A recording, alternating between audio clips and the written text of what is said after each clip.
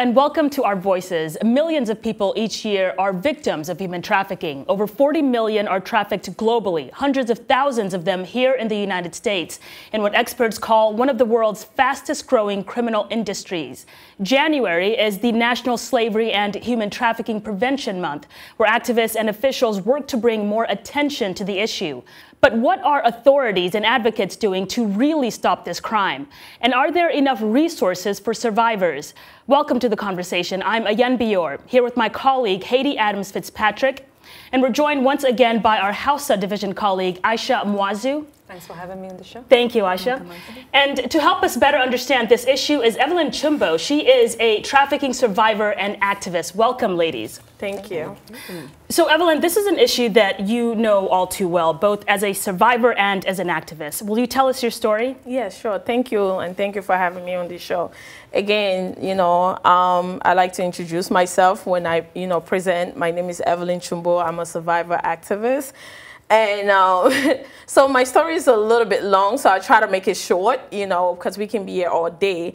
Um, originally from Cameroon, uh, originally from Cameroon, and for me, coming to the U.S., I don't know, uh, coming to the U.S., it was some, it was exciting for me. I was nine years old that um, that I was trafficked to the U.S. And while I was in Cameroon, I was fascinated by a lot of television shows, like three of my favorite shows, you know, Bill Cosby, don't say anything, uh, Fresh Prince of Bel-Air, I wanted to watch Marry Will Smith, and 90210, I just thought that was how America was. Like, the American dream. Yes, yeah. that was the American dream. That's what my vision of America was, you know, and uh, my parents were separated, so I was living with my uncle, you know, which was like a father to me. So when they say, hey, you're coming to America, I'm like, hey, yes, I don't care, I'm I'm going to go be with Will Smith. so never once did I think that I will come to America and become a victim of modern day slavery. So what happened? How did you become a victim? Um, so again, so it was a false promise. I thought that I was coming to America to be, a you know, kind of be adopted, like be a big sister to the kids that I was going to live with. You know, um, my trafficker was also from Cameroon, you know, and also from the tribe that I'm from. And I never really know much. Again, I was nine years old. I didn't know anything. And I arrived in the United States um, in Silver Spring, Maryland. And again, I first arrived in, in London which I thought that was America. You know, nevertheless, now I know the difference. And, and, so I was forced to take care of two kids, cook and clean, and never went to school from like age 9 to 17. Wow. You know, I usually say, I, I say 17, but really there's also another part of it. You know, I got placed into foster care at 17, and there I, I was and I experienced another type of trafficking, which was sex trafficking. And I almost got recruited to that part, but I was like, okay, no, I just survived a domestic servitude. I refuse to be selling my body for an old man just because of some Timberland boots, you know, but, um, you know, so I, I escaped that, you know, I escaped living in a house, cooking and cleaning, no school. And my punishment was really, really brutal. You know, I have like scars here, like I have to take off my clothes and get beat up. I slept on the floor. And if some of you know, as being from Africa, sometimes they feel like when you're dark skinned, you're not beautiful. Yeah. So I was told a lot by my trafficker that I was ugly, so I wasn't, I wasn't fit to sleep on the bed. So I slept on the floor in America in a cold state. you know, so when you think about the history of slavery, it's just like slavery was abolished in the U.S. in 1865. But yeah, I was again, I slept on the floor, taking care of two kids, cooking and cleaning at such a young age and no school. Mm. So, but when I got into foster care, I got my GED, I got my associate degree, I got my bachelor, and I decided to be an activist. So if I may ask, what are you doing back home to ensure that girls who are trafficked are helped out and then ensure that others are not trafficked? You know, as an African, it's really hard a lot of the times for people to believe that Africans are still being sold into slavery. Mm. So in 2016, I had a young lady that was from Cameroon that contacted me um, through WhatsApp that she was trafficked from Cameroon to Kuwait. And she thought that she was going there to be a teacher. And then I came to find out there was a colleague of mine, um, Katie Ford, that has an organization called Freedom for All that also ran into that situation and we partnered up and she helped like 12 girls from Ghana, Nigeria, and Cameroon to go back to their country. Mm -hmm. And not also that I decided that, hey, because a lot of the times when we do get out of the situation and how, why did we get into the situation in the first place is because our parents cannot afford us going to school. We don't have the job and things like that. And we want to go to other countries to better our lives. Mm -hmm. So I came up with the idea when I spoke at a conference in 2014 that, hey, survivors are more than just their story. If you train us, give us a job, mm -hmm. we can do better. If you give us businesses a job, we can do better. Absolutely. So we, me and Katie, we went to Cameroon and the 12 girls that were sent back to Cameroon were like, hey, why don't you start a business here? Here's some money start a business because instead of going to these countries and you be treated like a slave, mm -hmm. I know our country is not that great, we're still struggling, but having your own business, making your own money will be better. And so that's what I'm trying to do in Africa and especially just to advocate for the young boys and girls that, hey, I know that our country is really, really bad, but no matter what, it's better because if you hear the stories that they, they tell them in Kuwait, they spit on them, they sleep on the floor and they have to dress as Kuwaiti women. Not only do they have to work at home, but they also have to go sell their body at night. You know, now, now, Evelyn, you know, was, we know this is a global problem that requires a global effort to combat it. And as you mentioned here in the United States, people think it has just because slavery has been abolished is, doesn't exist anymore, exactly. not realizing that it's only just gone underground. Yeah. Um, what you've been on the Presidential Advisory Council. Yeah.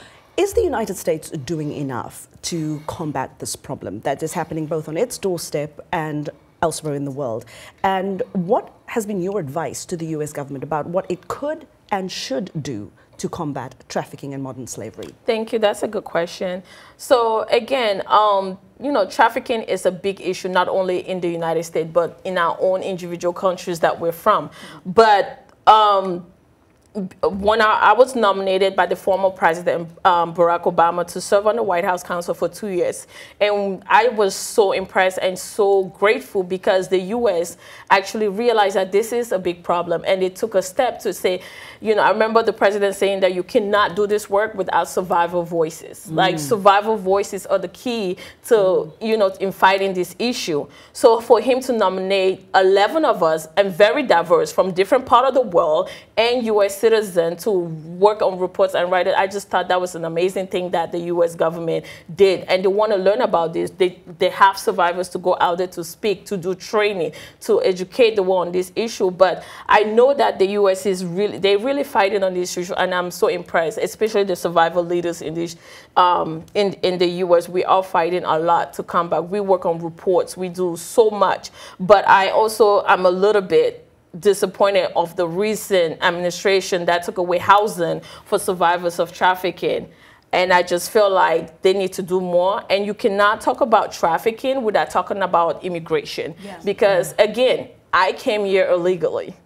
And I'm not a, a, criminal. I went to school. I went. I did everything by law. So if you're talking about immigration, you have to talk about you know, you have to talk about human trafficking. And if you're talking about prevention, you have to focus on the most vulnerable exactly, people in society. Exactly, exactly, exactly. Well, Evelyn, you're giving us a lot to think about.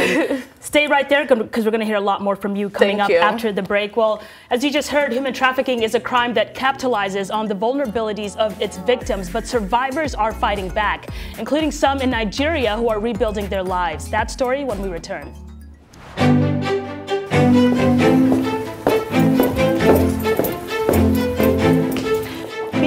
Voices is about more than just sitting here and talking about women's issues. It's about listening to them. And bringing their opinions to the table and making sure their voices are heard. Because our lived experiences, our stories, and our voices will help shape the next generation.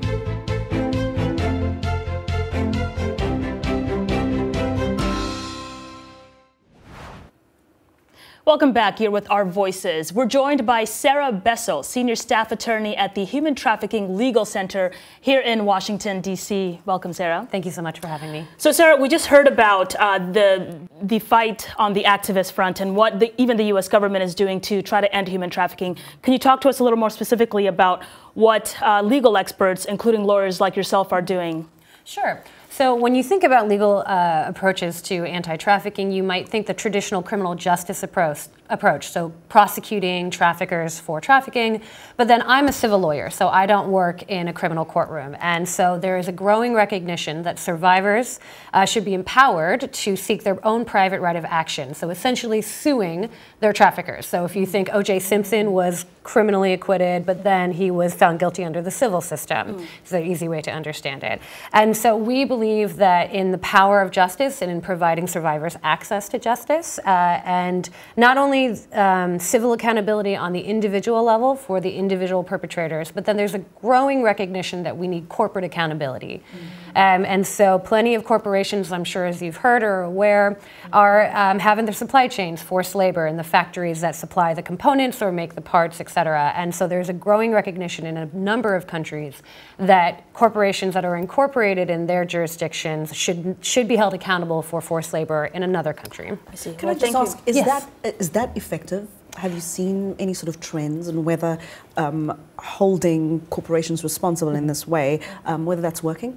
It, so it's very cutting edge. It's new, um, and not to punt, but um, so we're we are optimistic that it will be successful. Yeah. So there's a, a, French NGO by the name of Sherpa under the French due diligence laws that sued Samsung for false advertising, essentially, for saying that they had no forced labor or uh, no labor exploitation in their supply chain. It was revealed that they did, and they were successful in taking Samsung to court in France. Mm-hmm. Uh, and so we're very buoyed by those early successes. It's by no means easy, but we are hoping that that will be the future of corporate accountability. Thanks, Sarah.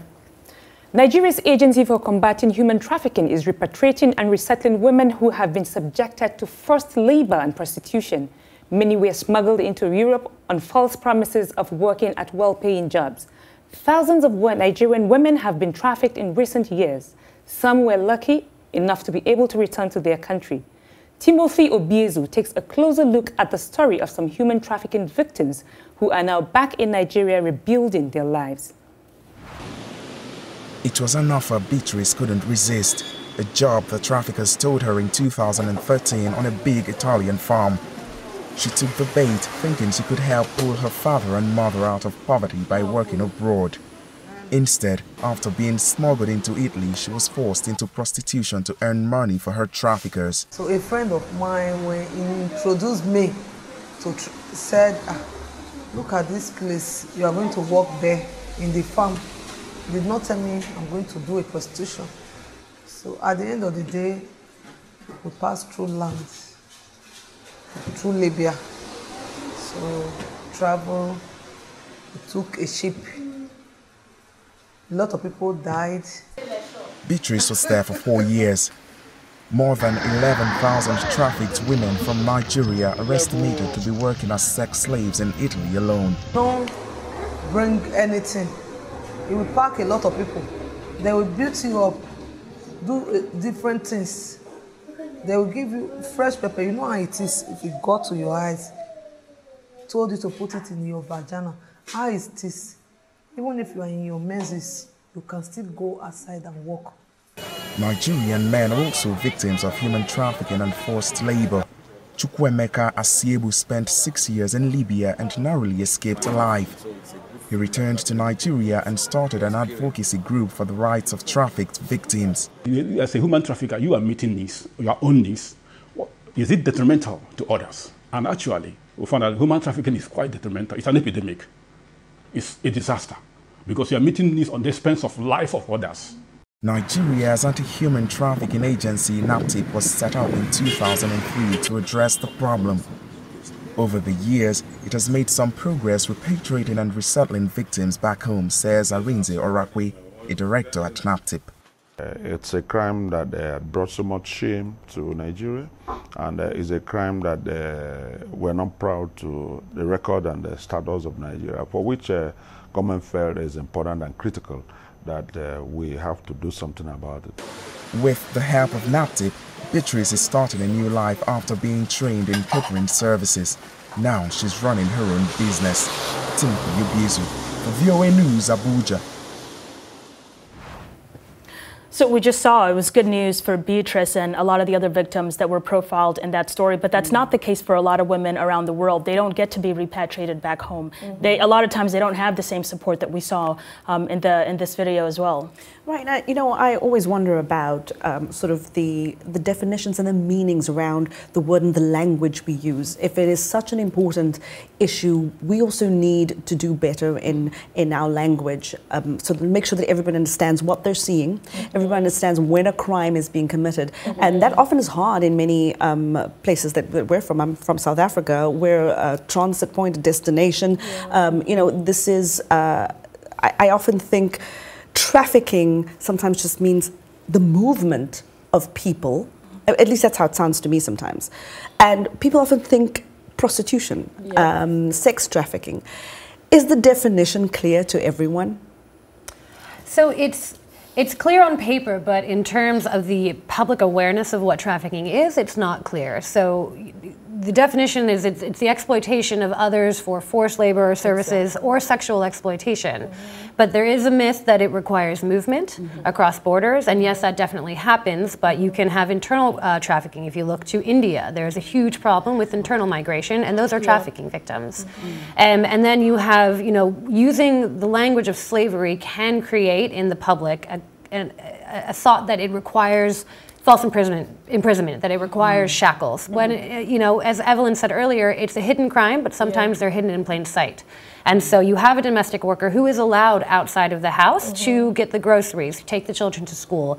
You have forced labor victims who are forced to work in factories in Southeast Asia who can go to and from their dorms or their barracks to the factory. Uh, and so I think it is a continuing effort to educate the public about what trafficking actually is and what a trafficking victim looks like, and it's not just a young Eastern European woman yeah. who is trafficked to Europe yeah. for sex. Because many people exactly. are yeah. in, enslaved at home. Right. Yes. yes. And, and I think it's especially important mm to let the diaspora mm communities know what yes. human trafficking looks like and what it is ex exactly. Because we've had conversations that our communities, our mm -hmm. diaspora communities, look at victims as if they're the perpetrators. Exactly.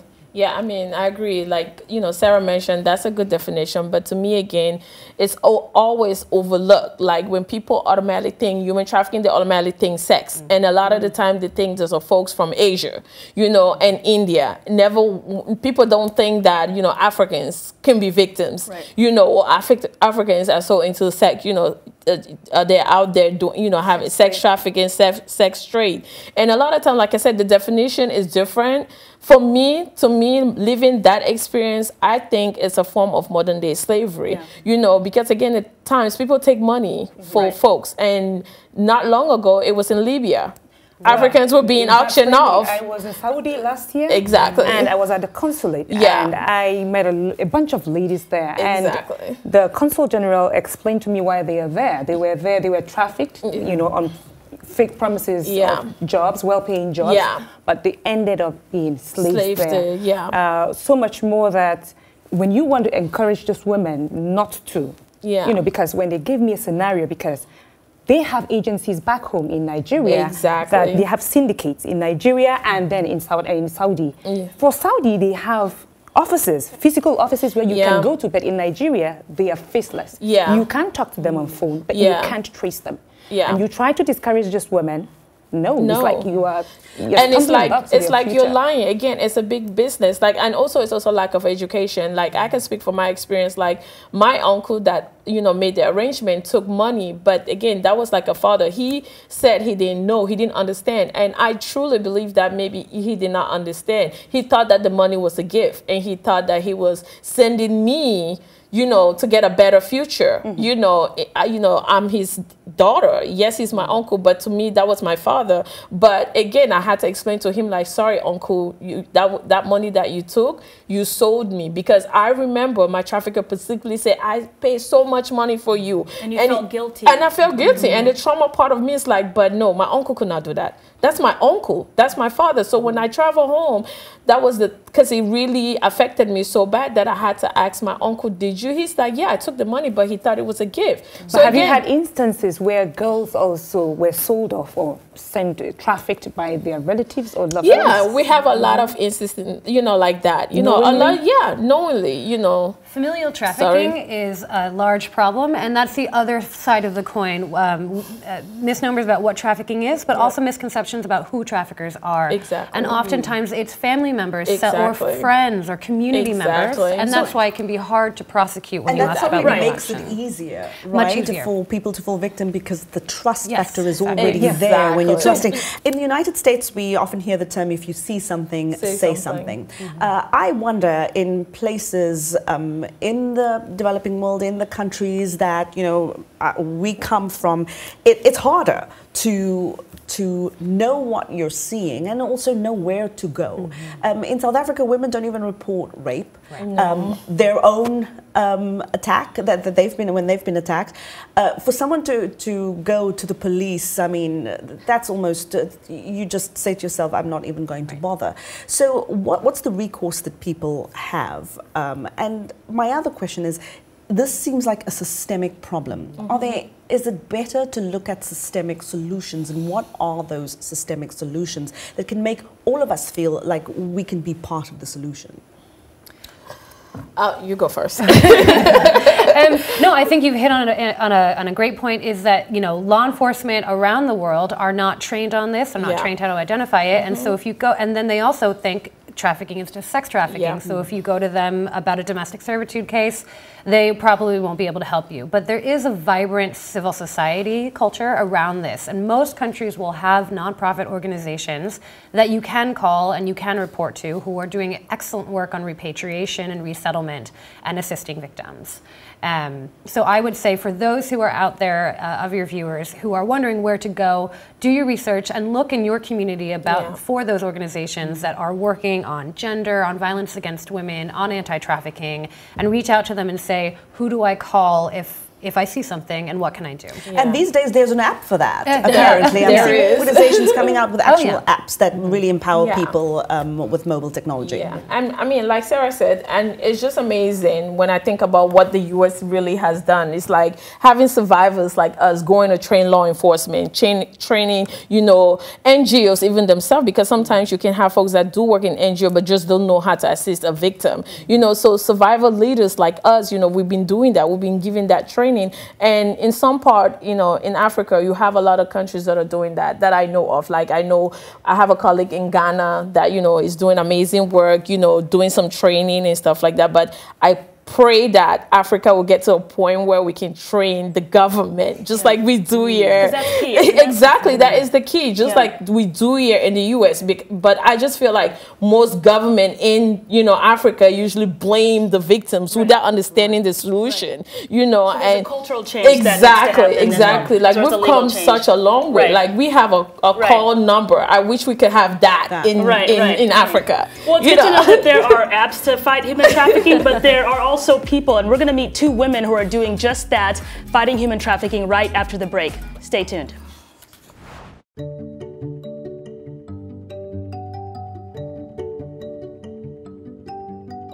This is a country that I chose to become a citizen.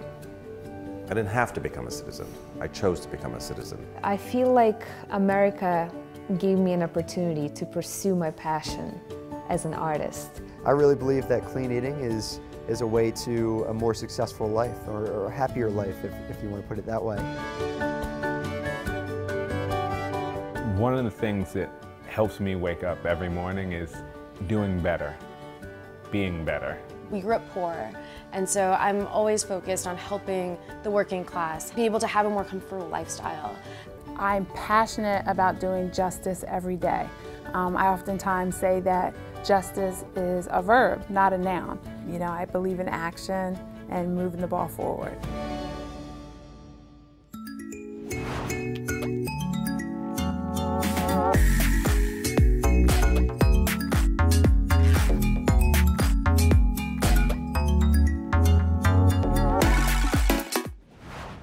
Welcome back. Every day, millions of women, men, and children are trafficked around the world. But there are also fearless people working to combat the problem and who are helping to free victims. This week, we highlight two women working to fight human trafficking and modern slavery. That's right, and one of those women is Anita Nyanjong. She works for victims at the global organization Equality Now and is an advocate of the High Court of Kenya and a member of the Federation of Women Lawyers of Kenya. So she's not just using her voice to create change, she's also using the laws in Kenya to make sure that women have access to justice. And Evelyn, she reminds me of a woman that you are also watching. Yes, so we also have um, Bukola Oriola that she is a survivor from Nigeria and she was a journalist in Nigeria and she's doing amazing work. She's on the White House Advisory Council, and not only did she use her voice, she's also created, you know, create like little um, survivor-made products, and you know, she sells it and things like that. And she teach other survivors how they can use their voice to, you know, through stories. She writes books, and she she is doing an amazing job. And, and she's also from Cameroon. No, she's from Nigeria, Yoruba. And not only that, do we also have uh, another survivor, Francisca Awah, that. Mm Last year, she won the TIP Office Hero Award, and she is a survivor that was trafficked from Cameroon to Kuwait. And she recently was presenting at the Obama Foundation in Chicago. And that's another woman to watch out for that I just feel like they're doing amazing work, mm. you know, in the continent and here in the U.S. That's great. And that's our show for today. Our thanks to Aisha Mwazu from the Hausa Service, as well as survivor activist Evelyn Chumbow and Sarah Bessell with the Human Trafficking Legal Center. Ladies, it was a pleasure having you today. Thank you. Thank you. Thanks for watching. Head to voanews.com for more episodes of Our Voices. And on behalf of the Voice of America and along with our colleagues, thanks for watching. Good day.